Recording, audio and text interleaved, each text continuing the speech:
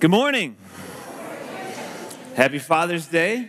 So, so glad that you are here with us. Thanks for joining us here in person. Thanks for joining us online for those of you that are there. This morning we have the honor and privilege to dedicate a child to the Lord. This is a, a great joy that we get to partake in. And so I'm going to invite Logan and Charity and Phoenix Alderson to come and join us up front here. And uh, what a special day uh, to be able to celebrate with the two of you. Uh, you can come up here. You can go on that side. Yeah, that side. All right. There you go. So this is Logan, this is Charity, and this is Phoenix. And Phoenix was born on March 29th of 22. And so a little over a year old. And, uh, and so we're still thankful that you two, or your three, are part of the church. I remember when you guys first came, he was just tiny. And, uh, and so what a joy to be able to dedicate him this morning. I'm going to have, I believe, Charity introduce family, friends that are here today with you. Yeah. Okay. Can you hear me? I'll get you on here. There, you should be good. How about now? Okay.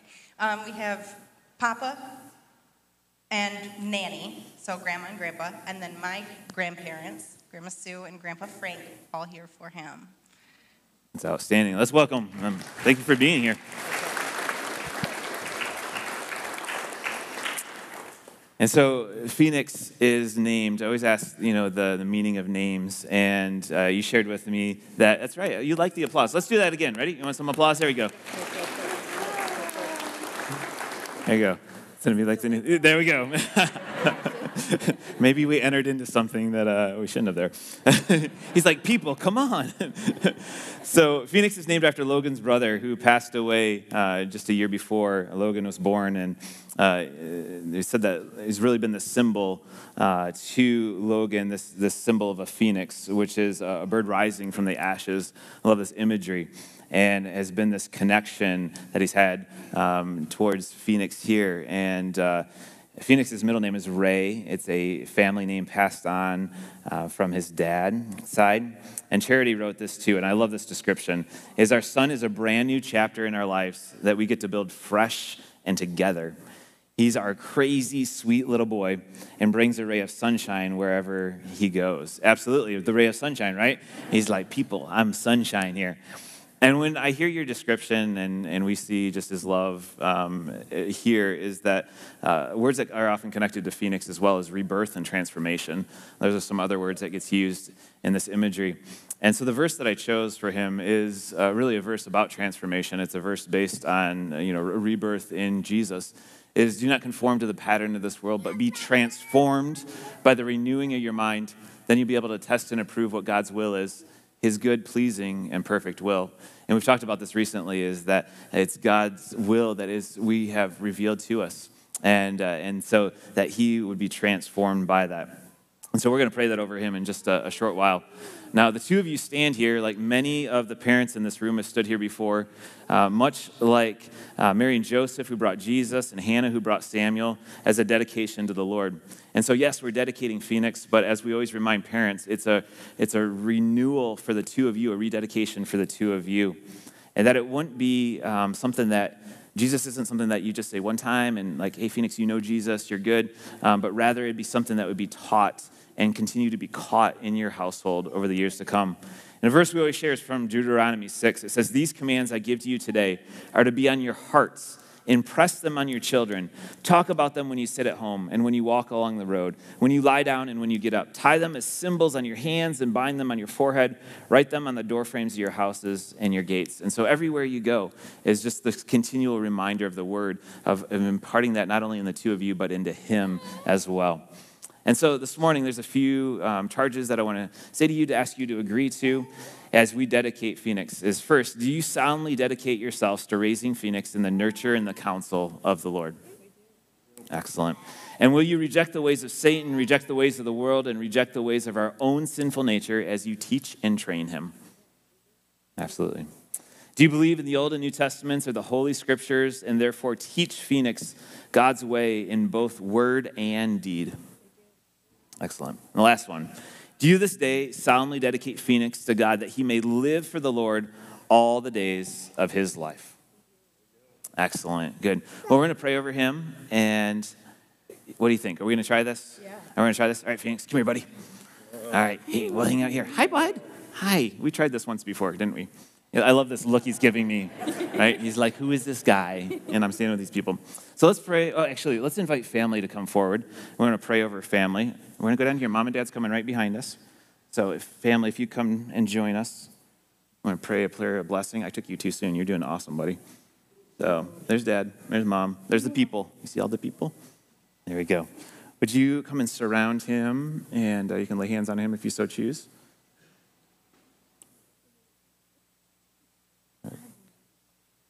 Oh, you want to go see? Him? There's family. There's your family. All right, let's pray. Church, join in with Jesus. We love you. We're so grateful for the life of Phoenix. God, I thank you for the work that you have done in both Logan and Charity. And God, I thank you for the joy that Phoenix is to them. God, we pray that as the scripture said, that God, Phoenix would not conform to the patterns of this world, but he would continue to be transformed by you, Jesus that your spirit would fill him. God, that one day he would say yes to following you. And God, that you would work in and through him. God, that he would be one that carries forth the good news, God, of this change, this transformation that happens in each one of us, God, as we say yes to you. So, Lord, I pray that you would fill him, God, with your spirit, with your joy, with your peace, with your patience, with your goodness, God, just everything of who you are. We pray for Logan and Charity as they raise him, the family that surrounds him. Jesus, that they would speak words of life, that, that they, would be, they would be pictures and symbols of hope and, and encouragement to him as he walks throughout life. And so, Jesus, we trust you with them. God, we trust you with this family. And this day, uh, as Logan and Charity stood here, God, together we all dedicate him to you. Lord, may you do a mighty work in him. And so we pray these things, God, for your glory and your name and hereby dedicate him to you. We pray this in Jesus' strong and powerful name. Amen. Amen. Amen. Wow, let's yeah, round of applause. Let's clap. People, people are clapping again. Yay! I'm gonna give you back to mom and dad here.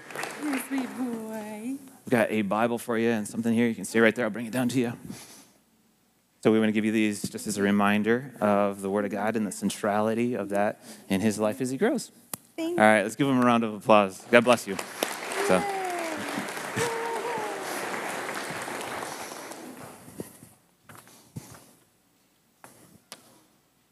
Sometimes you just got to make your own fun. And this mom came up with a doozy.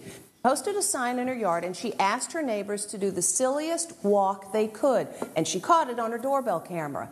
Wow, did they rise to the challenge? Something strange happens when people walk in front of this house outside Detroit.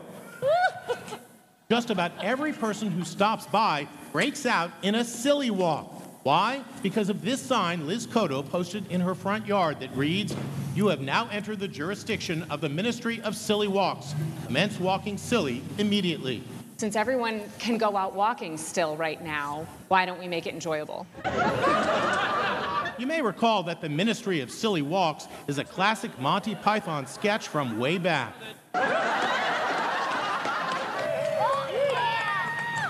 Each walk is captured on her doorbell camera. This family of four is out on their daily walk. Yeah, let's do it.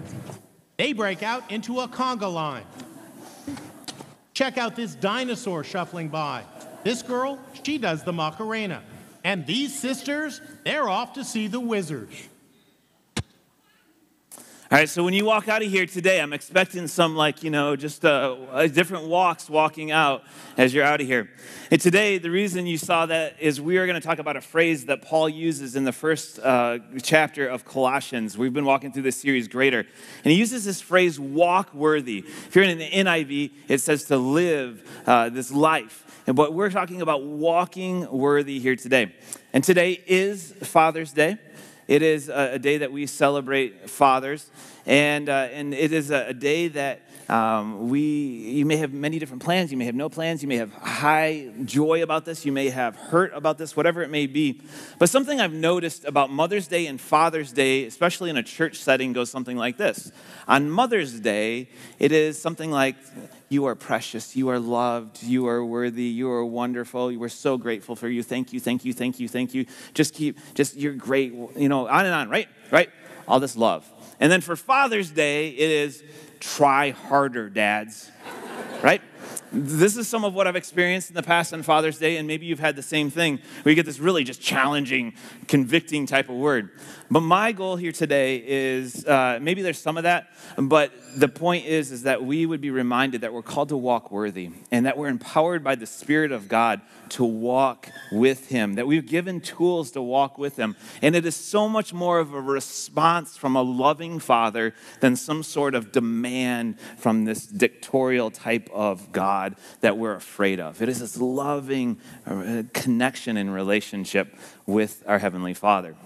And so that passage that I was referring to just a moment ago is from Colossians 1, verse 10, which says this Walk in a manner worthy of the Lord, fully pleasing to Him, bearing fruit in every good work and increasing in the knowledge of God. And so these are things that, again, that we walk in response to what the Lord has done. And, and when we walk in that response, we please Him. We bear fruit that the Spirit brings up and out of us. It's what the Spirit does in us. And we increase in the knowledge of God as we walk with Him. And so He makes us fruitful. He gives us the increase of the knowledge of Him. Now, on this Father's Day, there's a, number of different ways that we could pause and recognize and, uh, and honor dads, which um, after service, there's donuts. Hopefully, you got some on the way in, get some donuts on the way out. Whether you're a dad or not, there's donuts for everyone. Otherwise, staff is just going to have a lot of donuts tomorrow. Um, so please eat them on the way out. But what I uh, would love to have is maybe one, two, three um, people share uh, an, an, honoring of a dad, a reflection as a dad, uh, a way that you want to speak and honor maybe your dad is maybe something that your dad poured into you, whether that's a, um, uh, someone who was your biological or maybe someone who stepped in or an adoptive dad, whatever it may be, um, that you just take a moment and you'd speak life um, toward uh, your dad. Is there anyone that would be willing to do that? I know it's hard in front of people. Anyone? Anyone? Jimmy. Okay. So you should be good. It's on? No, maybe not. All right. Black one. All right. So. There's no one back there. See, the moment he steps out, it's uh, Johnny's getting you. All right, try again. Hello? Is it? There we go. Thanks, Johnny. Okay. The... You're good. All right. So I was I was adopted when I was four years old. My my grandfather raised me, but I always called him my dad, and he was always the greatest. My biological father, I met him back in back in 2017. Mm. He was in the Navy mm. back in the 90s, but him and my mother, they they just they had a rough life. Mm-hmm when they, before my sisters and I were given mm-hmm. up for adoption. But I was happy to meet him. Mm-hmm. I was happy to, to be raised by my grandfather all these years. And he's just the greatest. He just retired back in September from working at Sackrider Farms. But he will always be my dad, and he'll always be the greatest. Excellent. Thanks, Jimmy. Awesome. Love it. Yeah, absolutely. Round of applause. Thankful for people that step in. Someone else, the way you want to honor your dad or speak life. Who's got it? Don't be shy. It's like the auction. I saw two hands like move towards faces, and I'm like, oh, almost. Nope. All right, someone else. There we go. Thanks, Jessica. Hi, I'm Jessica Jarrett, and um, I've been blessed very much by my father. He currently is at a rehab facility. He had a massive heart attack about a month and a half ago, and we're still trying to see if he's going to pull through. Um, but a few years ago, I wrote a little letter on Father's Day just describing that. Um, I'm thankful because my view and relationship of God um, was formed by my view and relationship with Him because uh, I knew that He loved me unconditionally would speak life um, and beauty and affirmation over me. Uh, and one of the most valuable things seeing him, he was a salesman for doors and windows and would go into inner city Detroit, we'd go on vacations to Tennessee or wherever with um, whether it was poverty or um, different socioeconomic status. And no matter who he spoke to, um, he treated every person as a valuable human being and would make them seen and heard and worthy and valuable. And it was just another thing that I saw like God sees everyone in this light. Um, and if you could please pray for my father and my mother. His name is Alex and her name is Laura. Um, we're figuring out our next course of action today with Dad's um, future. So, thank you. Thanks, Jessica. Appreciate it.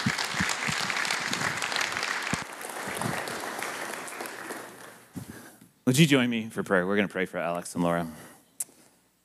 Jesus, uh, Lord, you are the God who gives all wisdom and insight.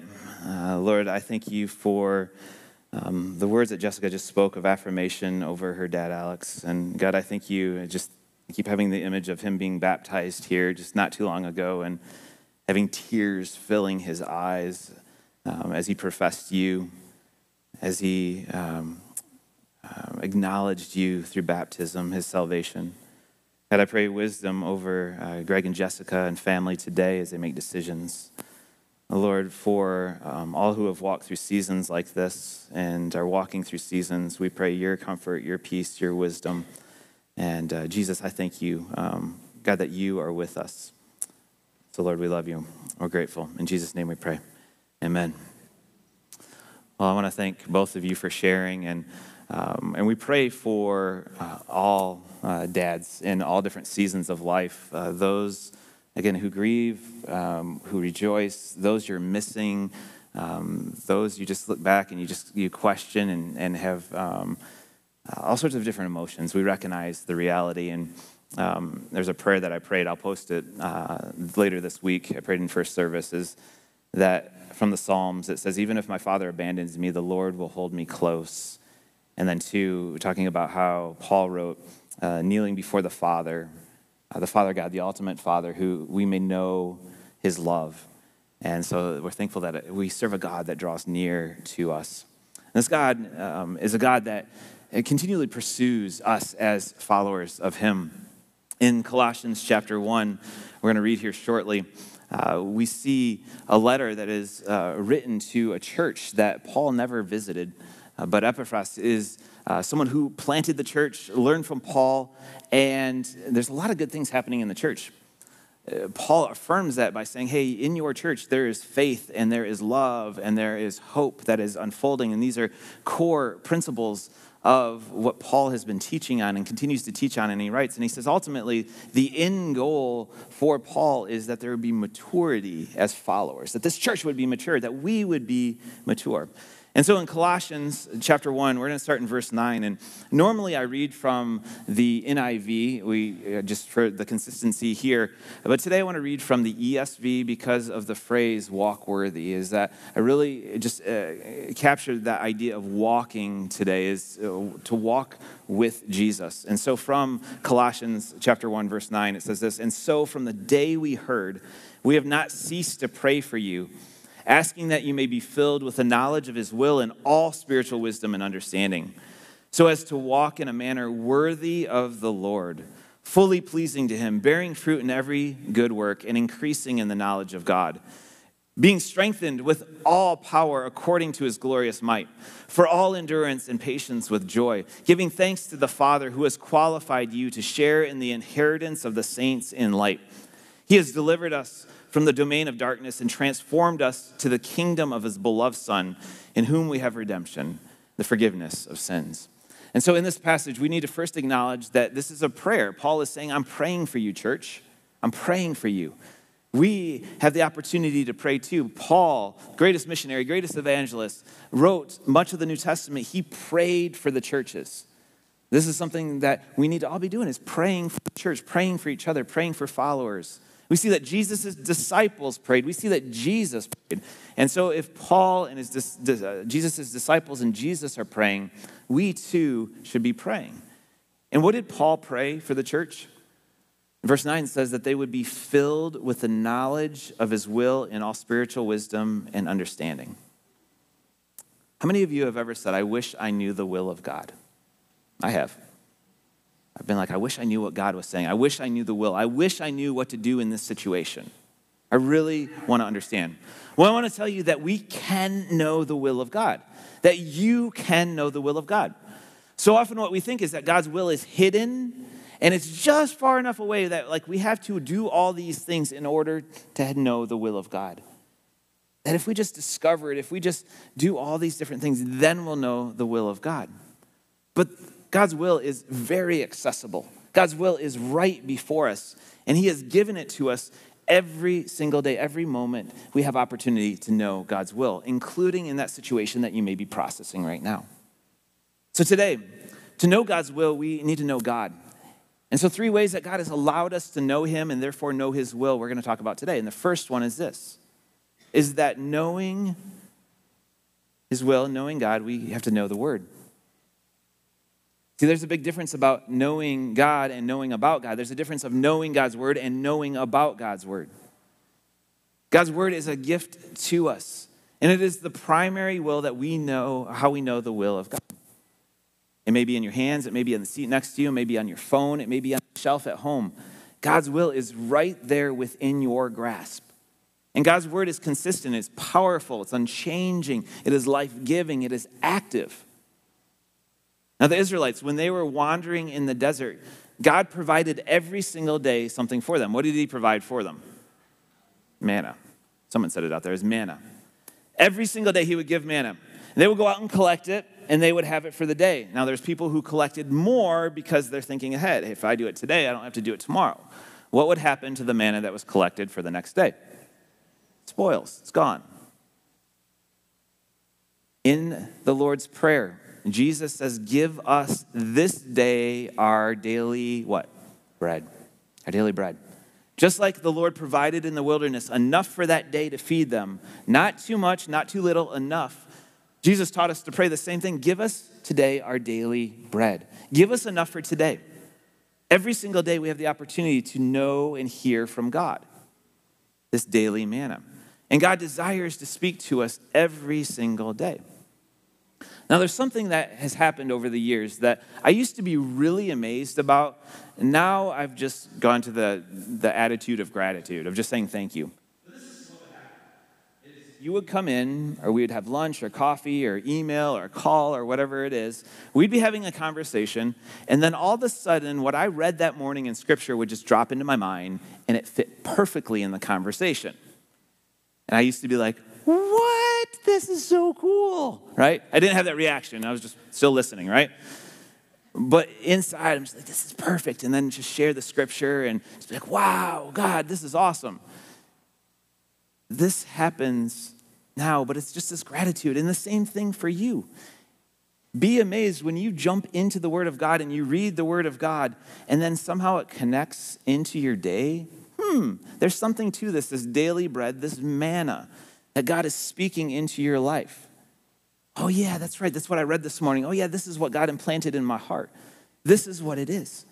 And it's been a really beautiful too, is Joanna's been sharing with, with me things that she has been reading as she's been processing decisions, work related, of like, what is this? What do I do? She's like, hey, look at this. This is deeply encouraging. God speaks to us. We want to know the will of God. We know God's heart. It's revealed primarily here in the Word of God. So we know it through the Word, but we also know it through His voice. Now, His voice can come off the pages of Scripture, yes, but His voice is through prayer. Consider these words from Scripture. Psalm 145 says this The Lord is near to all who call on Him, to all who call on Him in truth. Isaiah said, Whether you turn to the right or to the left, your ears will hear a voice behind you saying, This is the way, walk in it. And Jesus told us in John 10, My sheep listen to my voice. I know them, and they follow me. This, uh, among many other passages of Scripture, show us the heart of God wanting to speak to us through His Word and through prayer. This may be an audible voice, it may be a still small voice, it may be a impression on your heart and your mind.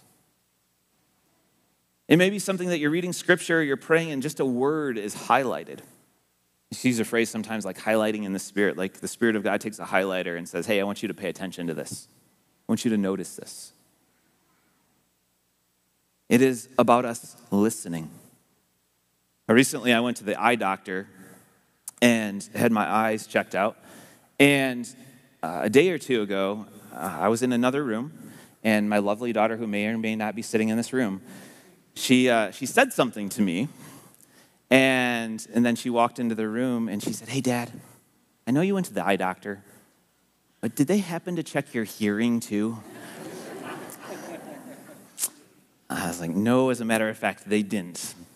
This is little just comment of, Dad, listen to me.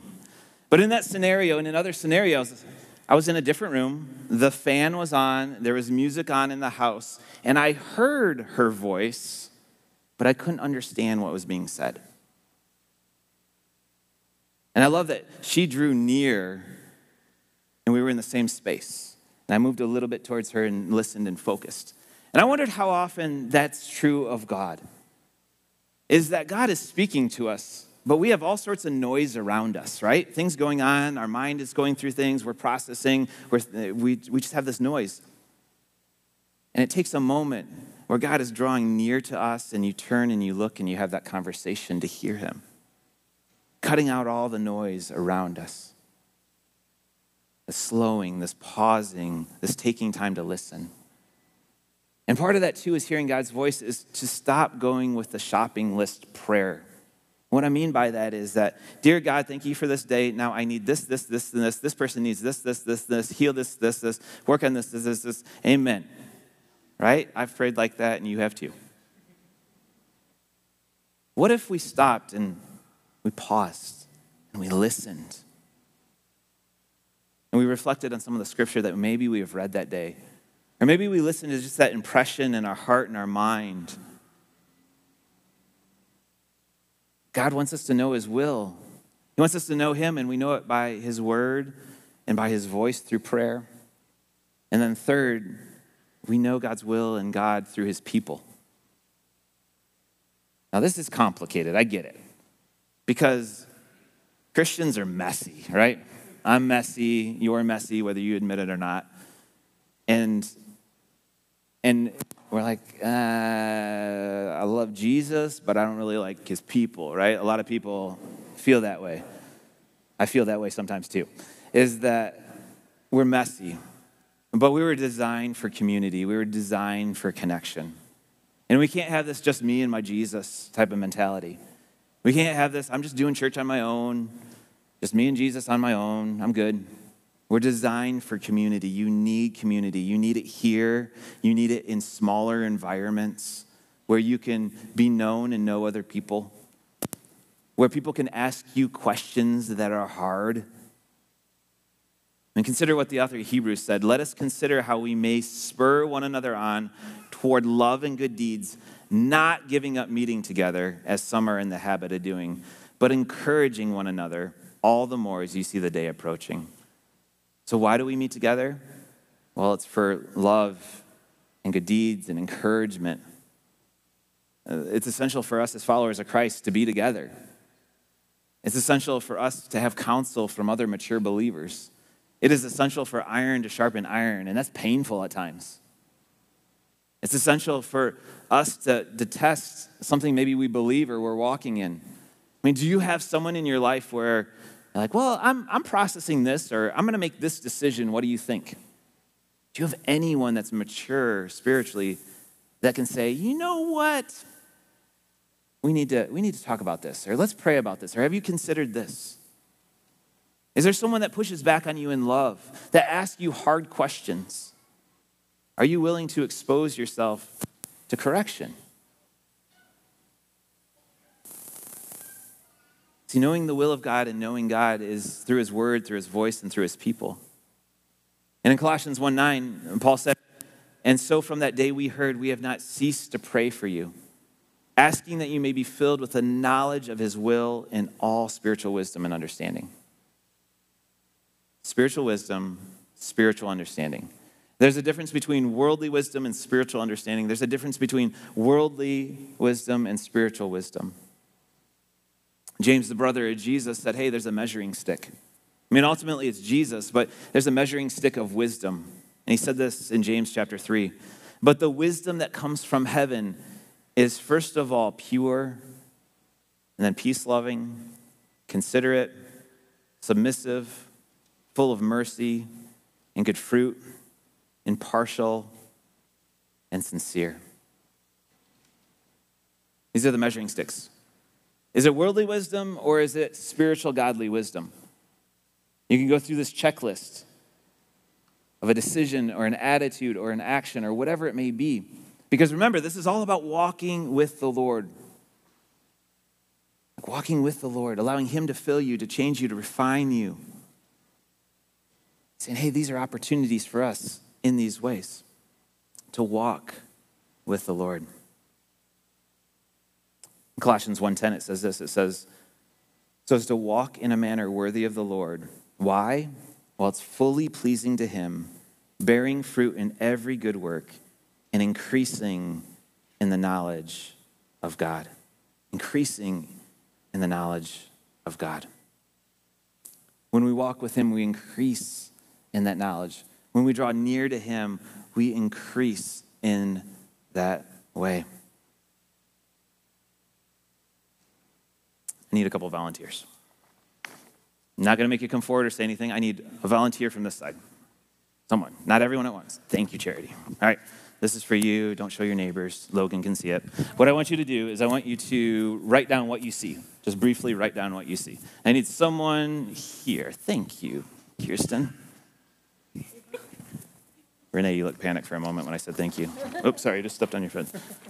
All right. I need someone from the middle just to write down what you see there. You can describe it, whatever it may be. Who's gonna Who's gonna describe? Right, all the way over there. All right. All right. Do, do, do. Here we go. All right. So just go ahead and take a minute to write down what you see on there. You can describe it in whatever words, phrases, whatever it may be. That's that image. And so when we walk with the Lord, we are knowing his word, we're knowing his voice, we're knowing his people. And Paul said we take captive every thought. So, what we think about, what we process, we take captive in every possible way. It's this walking in a worthy manner. Now, what we can do here, this is maybe where the guilt comes in, right? Is this try harder mentality. Walk worthy. I hear that and I'm like, ah, I fall so short of God. I can't do that. This is just this thing of, of how do I work harder? It seems impossible. But really, what it is, is it's our outward life matching what we're convicted of inwardly. And as we've been talking about the last number of weeks, is that it's not about our effort, our doing more. Rather, it is about the Spirit of God changing us. Us saying, God, I'm surrendered to you. You are my Savior. You are my Lord. I want to walk in your ways. You know what? There's times where you're walking along and you're going to trip and you're going to fall. One of the things that I was just uh, talking recently with um, someone I was in youth group with, and our youth pastor would say a, a sign of a, a follower of Jesus is one who falls down. It's going to happen, but gets back up again. Is we can stay down, but rather it's getting back up again. And so it is this walk with Jesus that lifts us up, that, that carries us forward as we walk with Him. All right, how are my three doing out there? You got your descriptions? Where are they? Good, Charity? All right. All right, there we go. Take that. All right, it's all good. Thank you for the descriptions there. Wonderful, wonderful. All right. Who did I give it to over here? Oh, Kirsten. All right, thank you much. I appreciate it. Okay, now I'm going to ask everyone to get a picture in their mind as I describe what they wrote, okay? So I want you to paint this image in your mind. Ready? So here, this image is colors faces, curved lines, loud eyeshadow, Egyptian art, question mark, different perspectives, and watchful eyes. Uh, by the way, these three images are exactly the same, okay? So you got this image in your mind? I have no confidence in that answer there. All right. All right. Here we go. Next person said colorful faces, eyes, confusion, I believe, about the piece, not necessarily all of us, maybe us. Unique art, question mark. Okay, does that refine the image? All right, the last one says this faces, eyes, noses, lips, vibrant colors, beauty, and art. All right, everyone have a clear picture in their mind. I mean, there were words that described this image. You should have this clear picture. This is, this is what you're taking in, right? Okay, got a picture? All right, this is what you had in your mind, right? Anyone have that exact image in their mind? Okay, uh, no, unless you saw it earlier or you were here, right? We had a description. We had three individuals tell you about this picture. I mean, they had good words. There was faces, right? Colorful faces. There's curved lines there. I don't know about Egyptian art, but uh, there's different perspectives. There's eyes, there's beauty, there's vibrancy. We should know exactly what this is, right? No, why not? See, an image changes when you have it before you. You can have someone describe an image, describe a person, describe a situation, until you encounter it yourself, it doesn't come alive. Until you lay your eyes on it, those words have very different meaning. Paul, when he prays for the church, when he prays for them to walk worthy, he's saying, encounter God. Don't let someone else tell you about God. Don't let other people's perspectives and things they add on there. He's saying you have the opportunity to encounter him yourself through the word and through prayer and through his people. And when you walk with him, when you walk worthy, it's fully pleasing to him. And what he does is he bears fruit in you and he increases the knowledge. Continues down in verse 11 by saying, being strengthened with all power according to his glorious might, for all endurance and patience with joy, giving thanks to the Father who has qualified you to share in the inheritance of the saints in light. He has delivered us from the domain of darkness and transferred us into the kingdom of his beloved Son, in whom we have redemption, the forgiveness of sins. So we have this encouragement. Paul saying, I'm praying for you, and you're called to walk worthy. And this is what God does for us. We walk with him. He strengthens us. What we just read builds endurance, patience, joy, gratitude, eternal, eternal inheritance. He delivers us into the kingdom of Jesus. He redeems us. He forgives us. This is what God does for you. You walk with Him. And He's saying, Here I am. Here I am. Here I am. James, he says, Let perseverance finish its work so that you may be mature and complete, not lacking anything. If any of you lacks wisdom, you should what? Ask God. God. And then God who gives what? Generously, without finding fault. Ask God through His word, through prayer, through His people. He gives generously yes to you. Yes to you. Because some of you just go to this of like, ah, oh, no, God doesn't want to talk to me. If you knew what I did, if you knew how I thought, if you know how I act, God's like, you know what? Seek me. You're going to find me. I'm going to give generously without fault, and it's going to be given to you. Seek me. Walk with me. I was just saying, let me, let me refine you. Our job is to receive. There's a story that Jesus told in Scripture, and it's in Mark 4. You can read it later. So often it's used for evangelism and thinking of salvation. It's a story of the farmer who went out and sowed seed. And when you sowed seed, you just threw it, just let it fly everywhere. This is the generosity of the God we serve who's like, I'm here. Here's my love, here's my presence, here's my peace.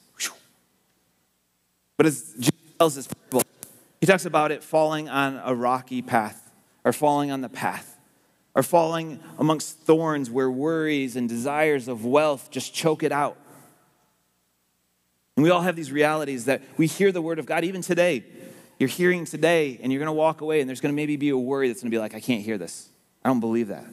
Or it's just going to fall, it's going to be shallow, and the enemy will pull it away. But the point of this is, is that there is soil that is good, that is rich, that's ready to receive. It's here I am, God. Here I am. I'm going to accept your word when I not only hear it here, but when I read it, when I pray all during the week, when I am amongst God's people asking questions and, and talking about things and, and learning and growing and being refined, when I open myself up to the word, to the voice of God and his people. And so as we wrap up, I want you to consider two different questions that are here. First and foremost, the most important question we start with is Have I invited Jesus to be my Savior by confessing my sin and my need for Him? Have I placed my trust in the finished work of Jesus that He did on the cross through His death, burial, and resurrection?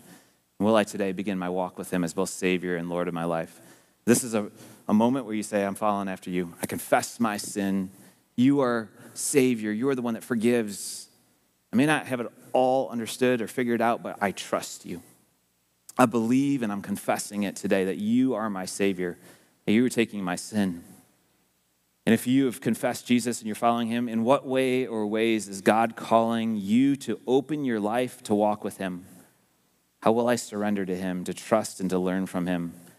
Is it about the word of God, hearing him there, his voice through prayer, or about God's people? What way is God calling me to open my life? And so, would you take a moment? to prayerfully process and, and just ask God to show you what step or steps He may want you to take as you walk with Him. What does it mean to walk with Him today? What is God impressing? So, would you take a moment and then I'll lead us in prayer?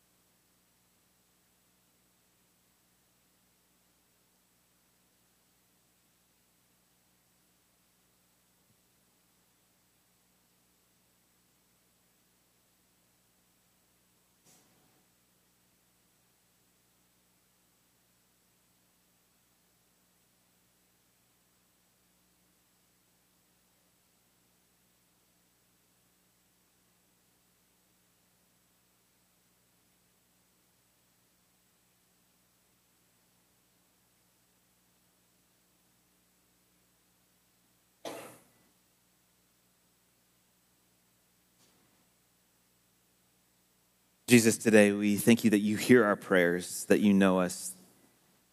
Jesus, thank you for those, whether here or online, that may have said yes to you for the very first time. God, I pray a strengthening for them as they walk with you, as they respond to uh, what you did for them on the cross, God, the worthiness, God, that you call us to walk with you. And Jesus, I pray for those here today, too, who um, just today surrendered before you, may have surrendered before you. God, wanting to walk with you, to hear your voice, to understand you through your word or prayer or people or whatever it may be. And so, Jesus, as we walk through this week, God, may you remind us that you go with us, that you are speaking, that you are just scattering yourself and your word and your love around us. May we be receptive in that good soil. Jesus, I thank you for these words that Paul wrote so long ago. I thank you that you are the one that strengthens us. You're the one that calls us to endure and gives us patience and, Lord, the inheritance. I thank you that you love us. God, ultimately on this Father's Day, Lord, you are the picture of, God, truly that good Father the compassionate and loving Father, the Father who gives of himself for the good of his children. So, Jesus, may we walk in you this week and this day. Lord, you're so good. In Jesus' name we pray. Amen.